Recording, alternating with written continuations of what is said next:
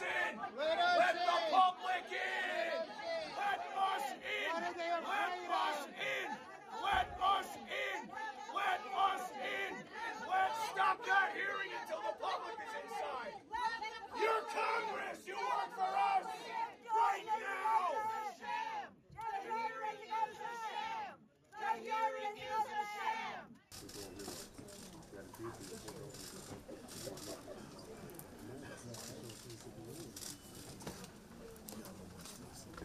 we all know, fairness under the law is a bedrock principle of American democracy. about their families being dead. While Miles Guo is in jail right now uh, and raided by 100 uh, uh, FBI agents, agents for his apartment to get set on fire. You guys are politicizing this entire event. You're a scumbag. Every single one of you Democrats.